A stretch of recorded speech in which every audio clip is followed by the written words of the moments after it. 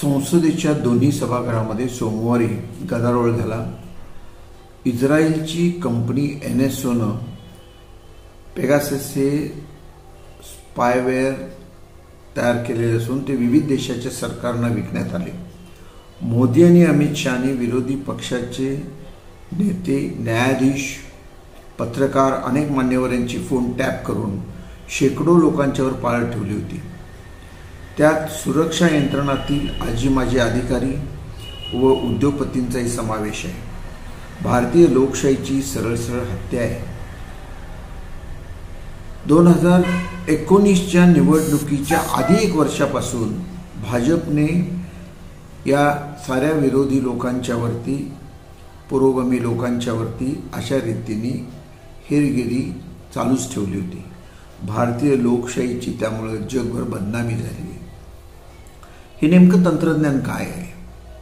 इस्रायलच्या N S O या कंपनीनं अगोदर असं सांगितलं की क्राईम डिटेक्शनसाठी आणि टेररिझम कंट्रोल करण्यासाठी आम्ही हे तंत्रज्ञान शोधलेलं आहे.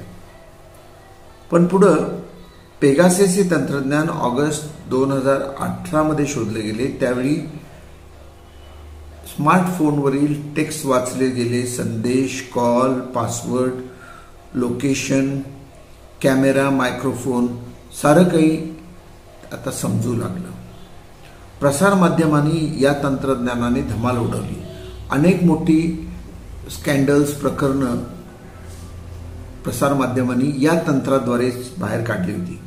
तेवीस ऑगस्ट दोन हजार वीसमध्ये त्यात इस्रायलनं कृत्रिम बुद्धिमत्तेचा वापर केला आणि हे तंत्रज्ञान विविध देशाच्या सरकारला विकले. अल जझीरा या टी व्ही चॅनलने त्याचा शोध घेतला आणि सारे जगापुढं हे रहस्य मांडलं. जुलै दोन हजार एकवीसमध्ये मानवी अधिकार गटाने आणि ॲम्नेस्टी इंटरनॅशनलने पेगासिस तंत्राचे रहस्य जगापुढे खुले केले. जागतिक पातळीवर बड्या नेत्यांची हेरगिरी करून अनेक देशांची संरक्षणविषयक रहस्यही जागतिक पळा पातळीवरती फोडण्यासाठी या तंत्रज्ञानाचा वापर झाला. आय ओ एस वर्षांच्या कोणत्याही मोबाईलवर ही स्पायवेअर बसवता येते. एका क्लिकवर कोणाच्याही मोबाईलवर घुसून सारे काही चोरता येते. असा महाचोर हा भाजपने नियुक्त केलेला आहे. त्यामुळे दोन हजार चोवीसच्या निवडणुकीमध्ये ई व्ही एम मशीनपासून ह्या पेगासेस पायवेअरपर्यंत आणखी काय काय भाजप करणार आहे हे आपल्याला निवडणुकीतल्या त्यांच्या यशाचं रहस्य काय आहे हे फार उशिरा